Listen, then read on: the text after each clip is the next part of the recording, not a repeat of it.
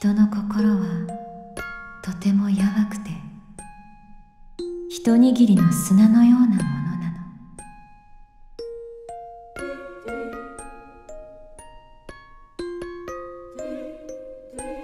だから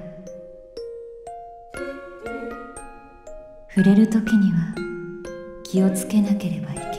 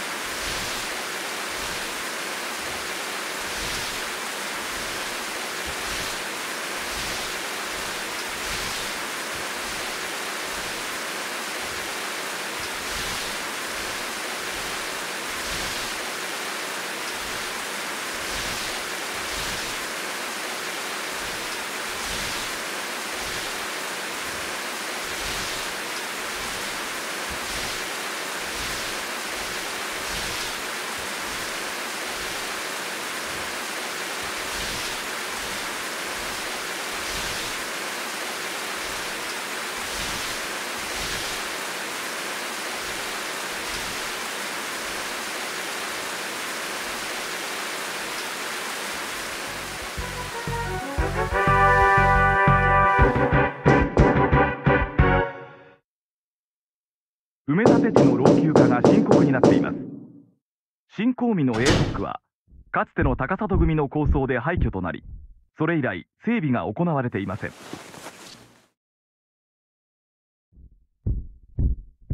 おい。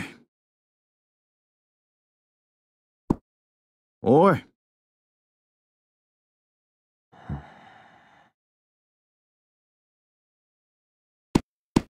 起きろ。いつまで寝てるんだ？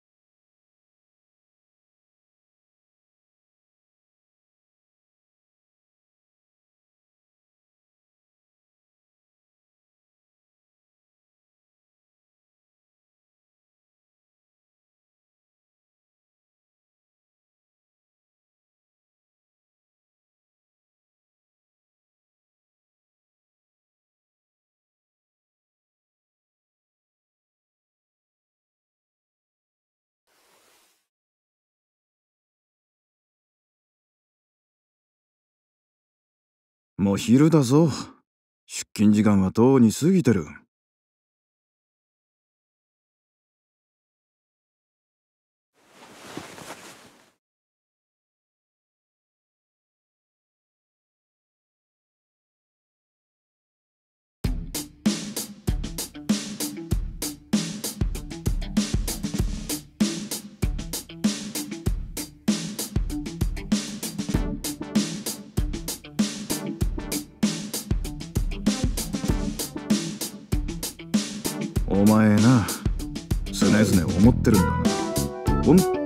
く気があるのか？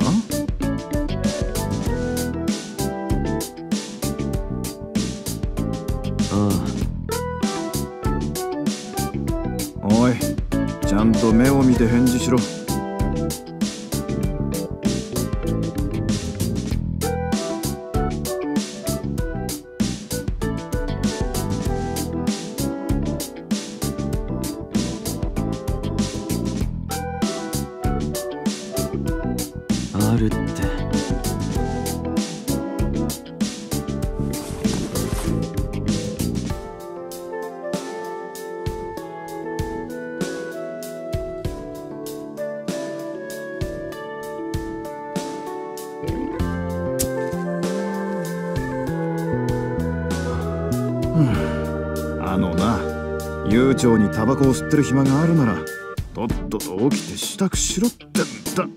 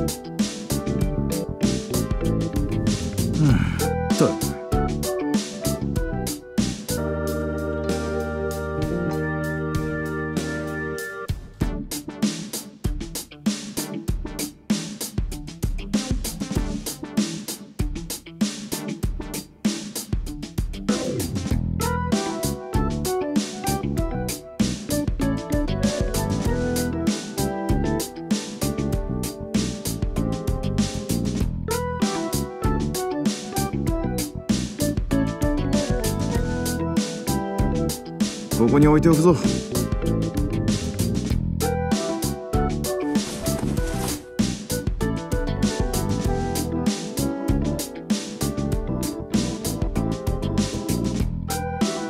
かしこの部屋ほんと油臭いよな。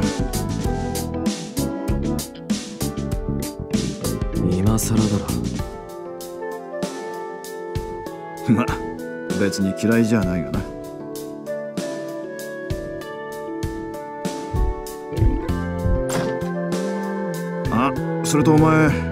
テレビつけっぱなしだったぞ。いい加減ちゃんと消してから寝ろよ。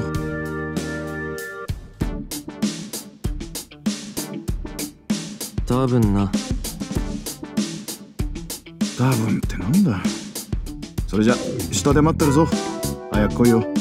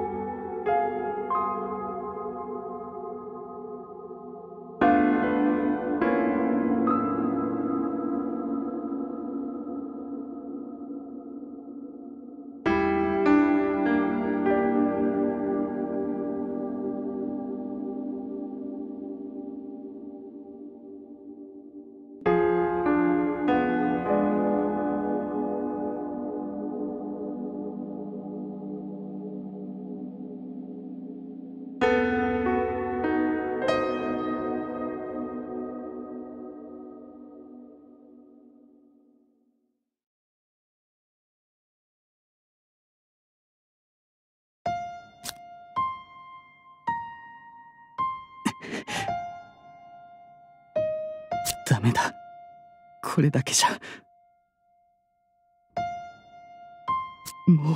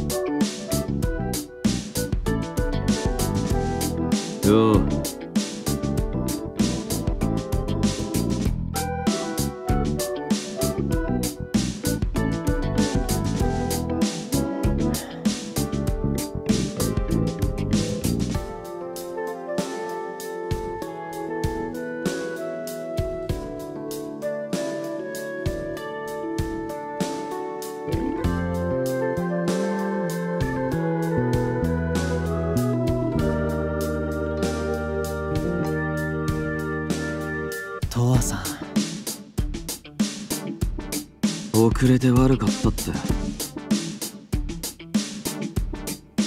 いいえ。それは今更なのでもういいです。それより自分宛ての荷物はちゃんと持って行ってください。いつも置きっぱなしじゃないですか。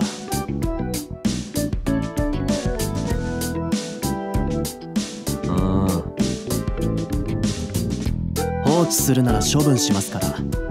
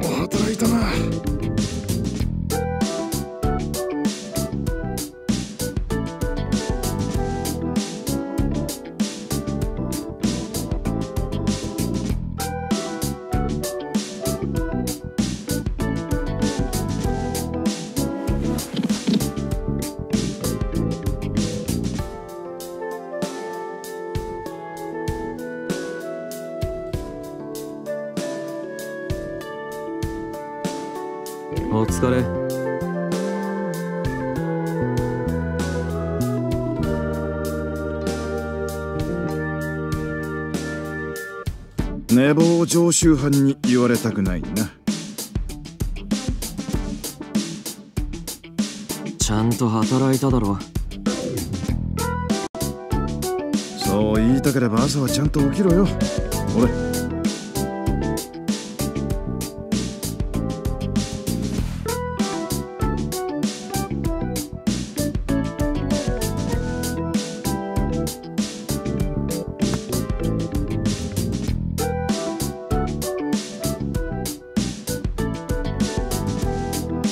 入れてくれないのか？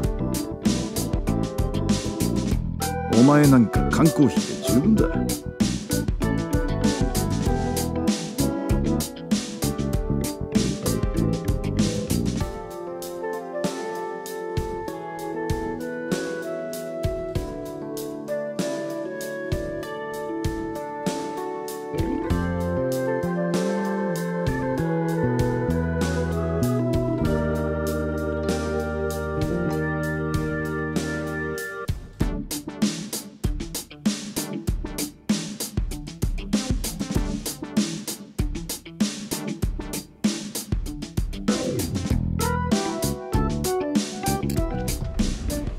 品の発注と掃除終わりました。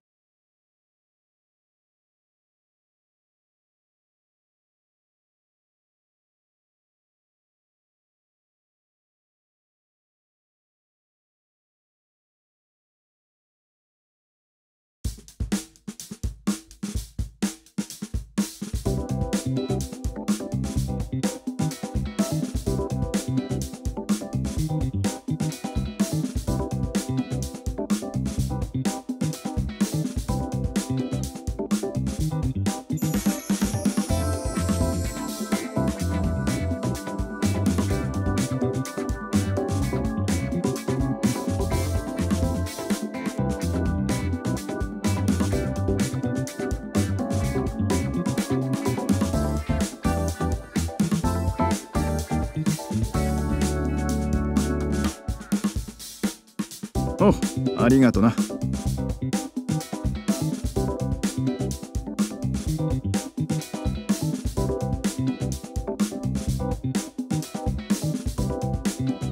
全然いいのよ。気にしないで。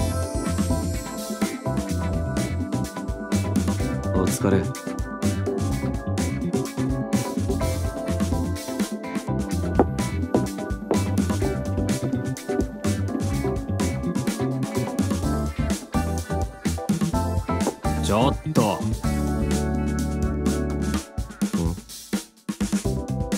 あんた今日も寝坊したでしょ。有村君に仕事押し付けて。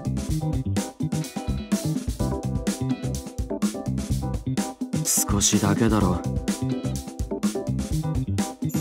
開き直らないの。寝坊は寝坊よ。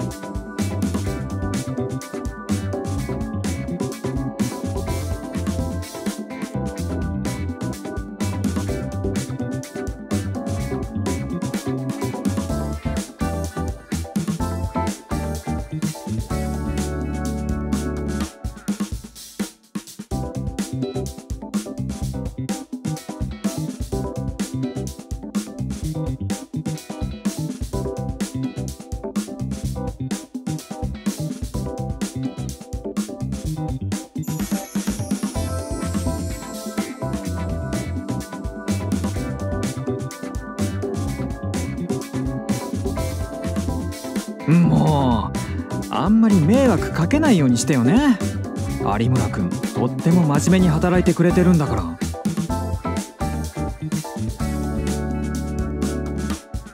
そうだそうだ。もっと言ってやれ。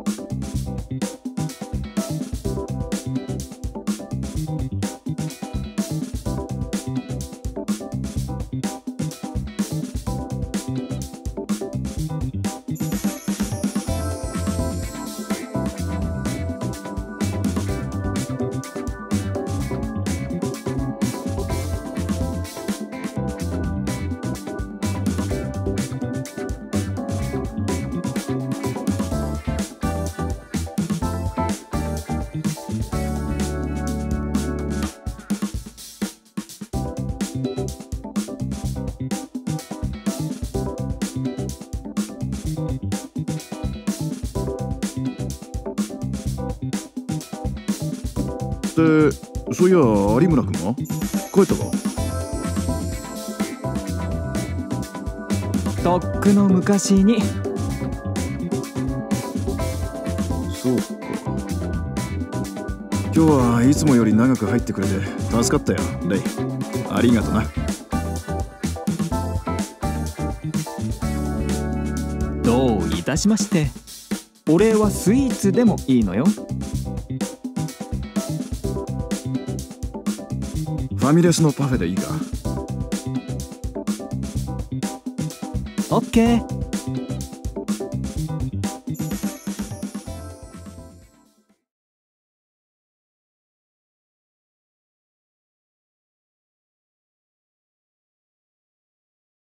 疲れてるな。ん？疲れてる。顔が。おう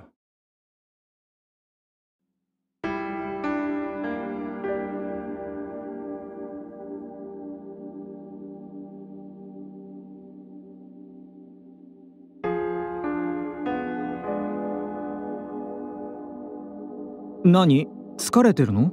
寝不足？それもあるが気疲れだ気疲れ？う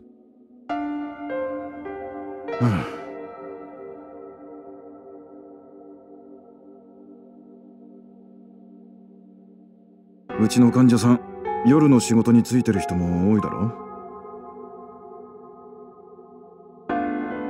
そうね。昼間はお年寄りや子連れの人もいるけど深夜になると男女関係なく夜の仕事の人が増えるわね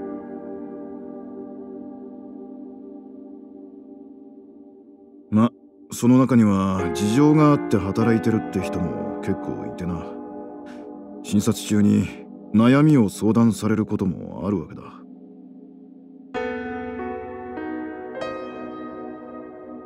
悩みってああメンタル面でってことか。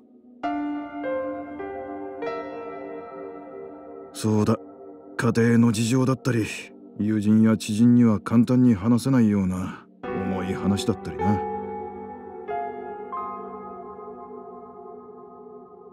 心の方は専門外だから治療できんが相談があった時はできる限り話を聞くようにはしてる。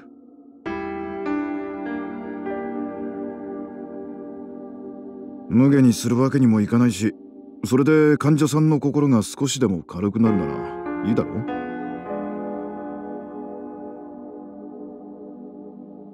そうね。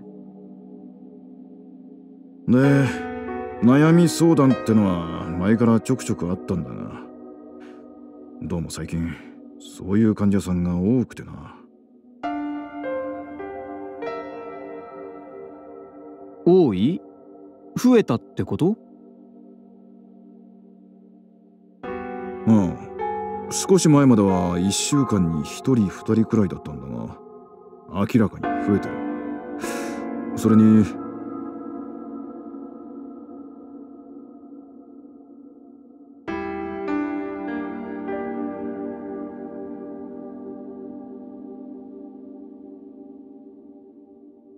切羽詰まった患者さんが増えた気がするんだ。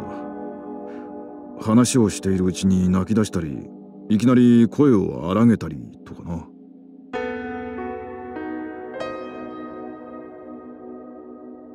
たまに診察室から怒鳴り声が聞こえてくるけどあれってそういうことだったんだ。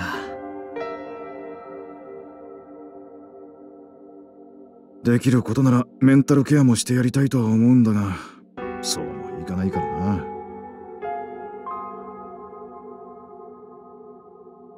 ただ感情が高ぶってる状態の患者をないがしろにするわけにもいかんだろう。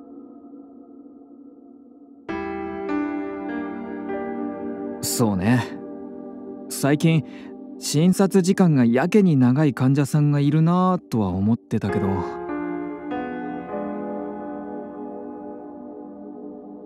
どう対応したらいいものかってずっと考えてるんだな。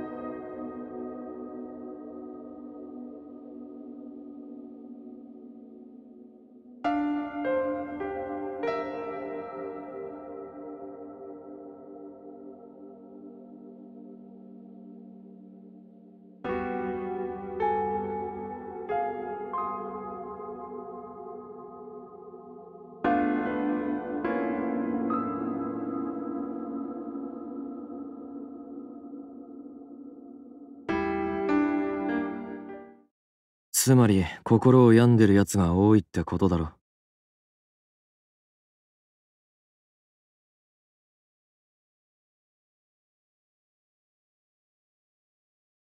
その言い方俺は好かんな。別に間違ってない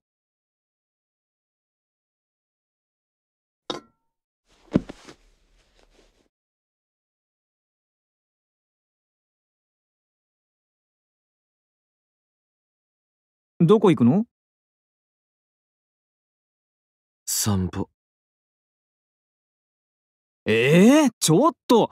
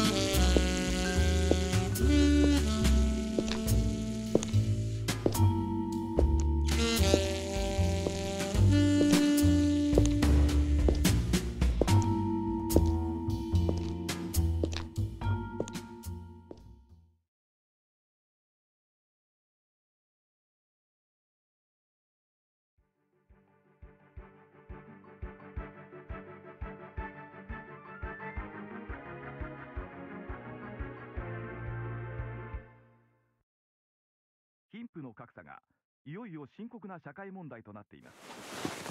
特に若年層の貧困が著しく増加し続ける10代後半から20代の失業率に対し国は職に就いたり学校に行くことをしないでその日暮らしをする若者いわゆるハプレスチルドレンを原因として挙げており彼らをどのようにして社会復帰させるかが大きな課題となっています。また行き場のないハプレスチルドレンは新興民に移り住む傾向が強く本土では違法となるような仕事暴力や風俗などで生計を立てたり賭け事で一攫千金を狙うといったものも多く見られそれが社会復帰の妨げになっていると専門家は指摘しています。しかし反対に受け皿となっていることで本土の治安が守られている側面などもありどのように対処していくかが今後の争点となりそうです。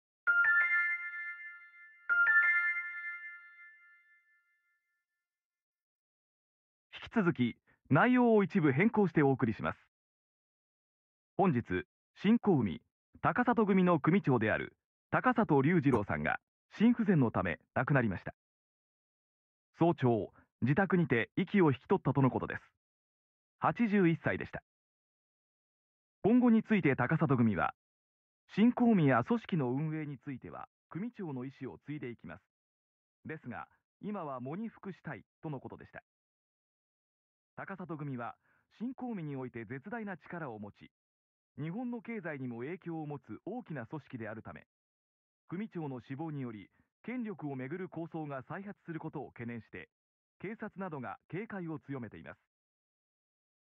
本日はこちらのニュースのため一部番組の放送内容を変更してお送りしています。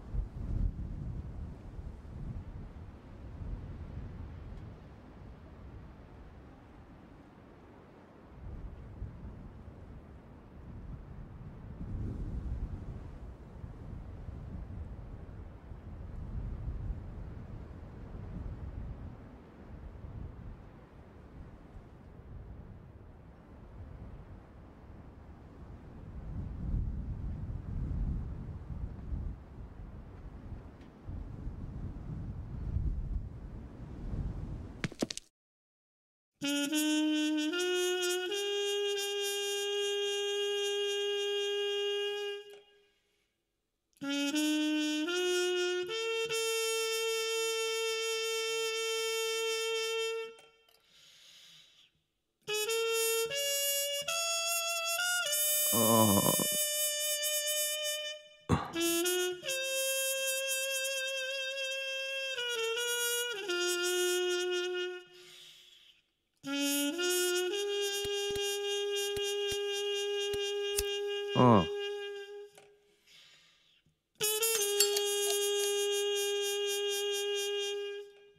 ポジ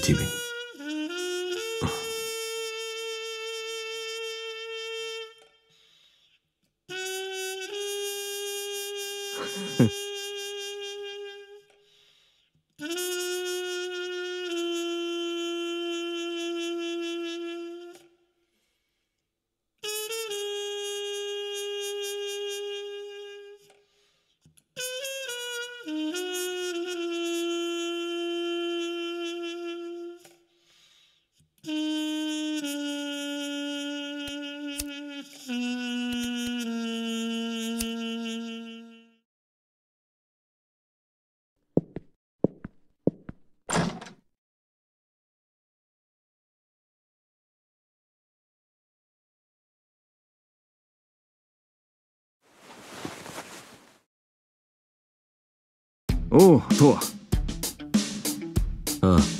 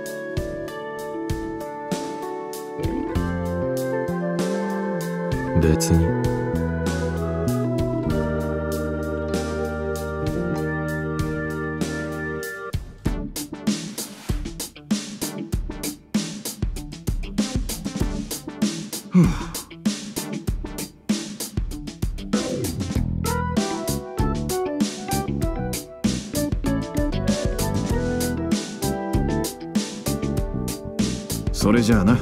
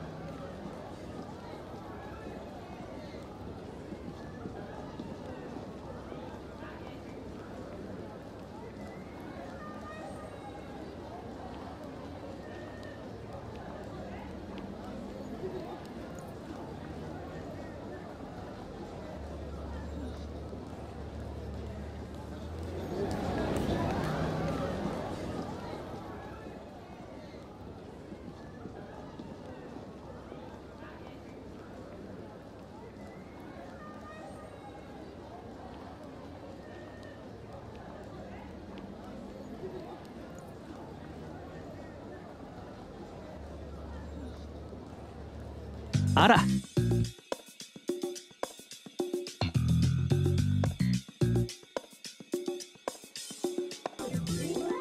よう。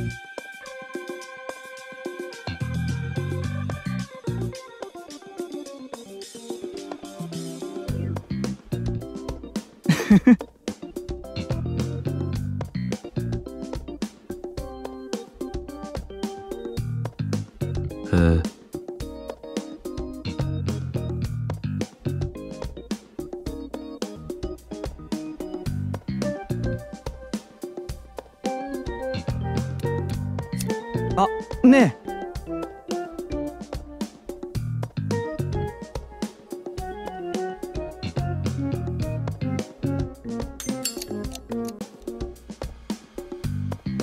ポジティブ。にああ。え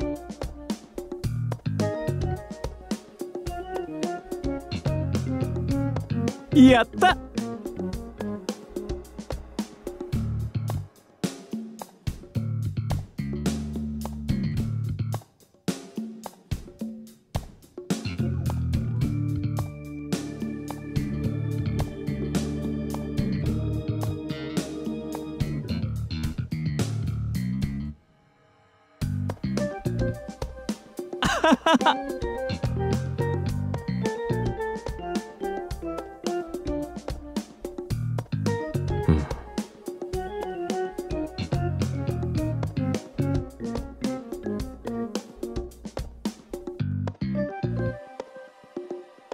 戻らなくっちゃ。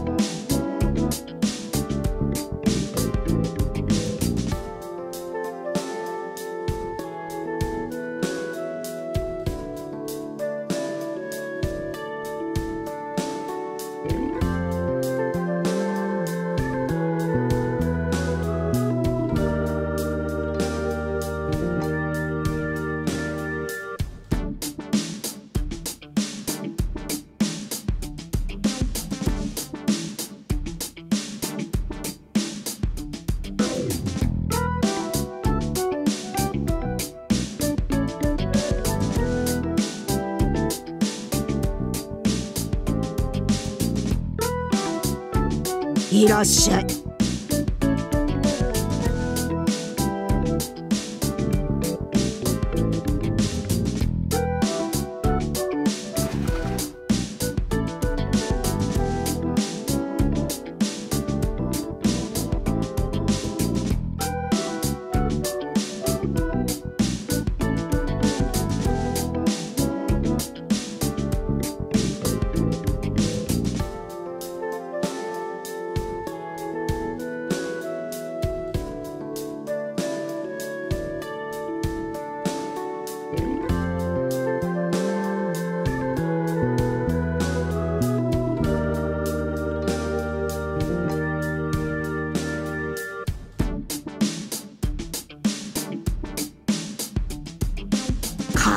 かい買わないのかい。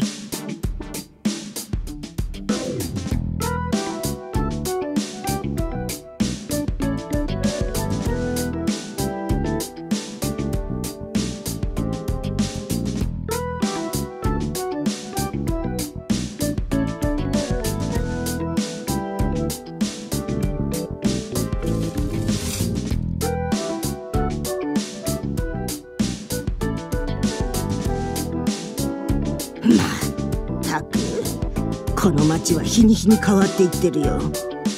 いつか本当に滅びてなくなっちまうんじゃないかとヒヤヒヤしてるんだよ私は。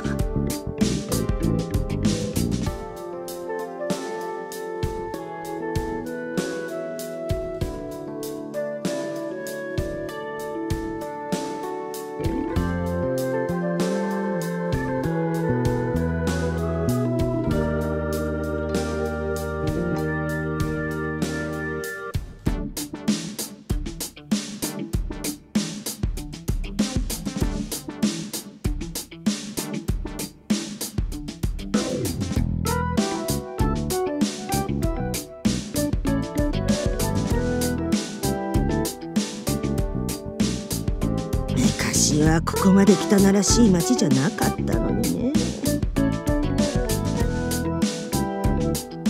それこそ純朴そうな小娘の面倒を見てやったりもしたの。に今は男も女もアバズレで溢れ返ってるよ。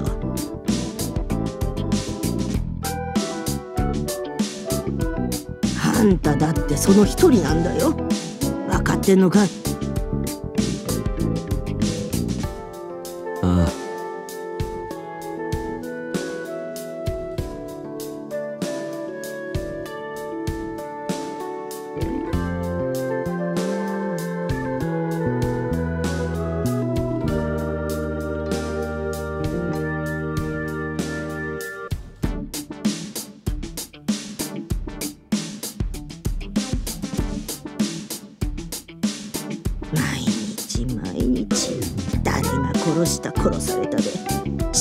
ても何とも思わなくなっちまってるんだ。狂ってるよ。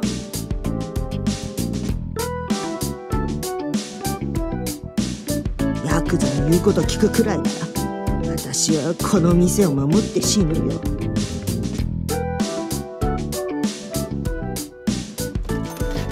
240円だ。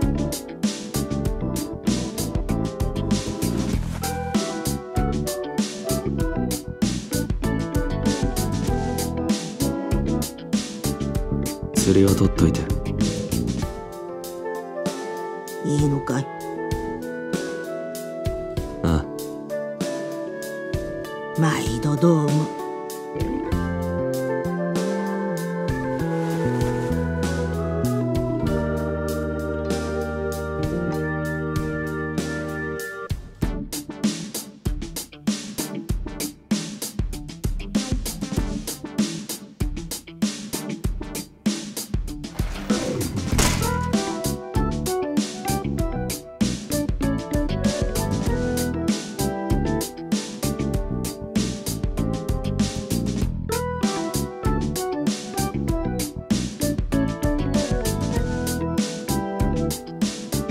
また来とくれよ。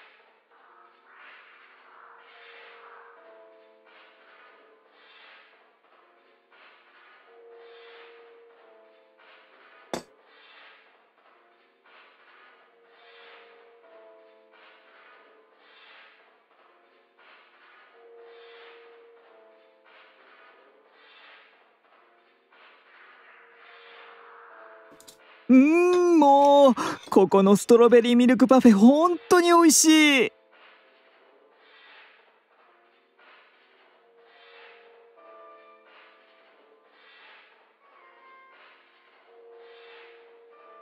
毎度毎度そんなに喜んでもらえたら作った人も作りがいがあるってもんだな。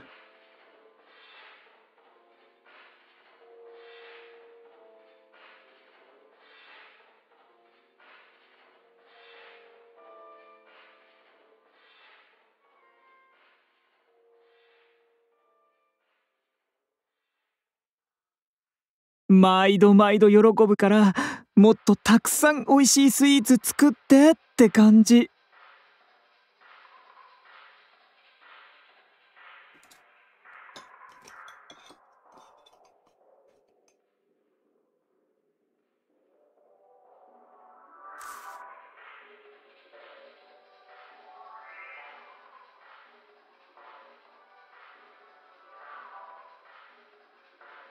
ちょっと。まだ食べてるんですけど。うん。うんじゃないわよ。喫煙席だろここ。マナーってものがあるでしょ？タクだってもうやめたんだしあんたもいい加減やめなさいよね吸ってた俺が言うのもなんだがタバコは百害あって一理なしだぞ。